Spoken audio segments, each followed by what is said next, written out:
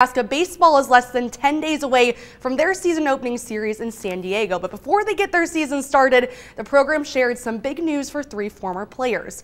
Darin Erstad, Alex Gordon, and Shane Komine will all have their jersey numbers retired during a ceremony at Nebraska's game against Illinois on March 24th. The three Huskers are the first in the program to have their jerseys retired.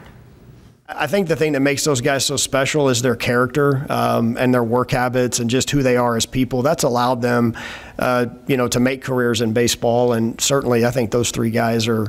Um, there's some others that you could put in that category as well, but those three guys for sure uh, really stand out. Not only what they did here, but what they're about, and then what they did after they left Nebraska.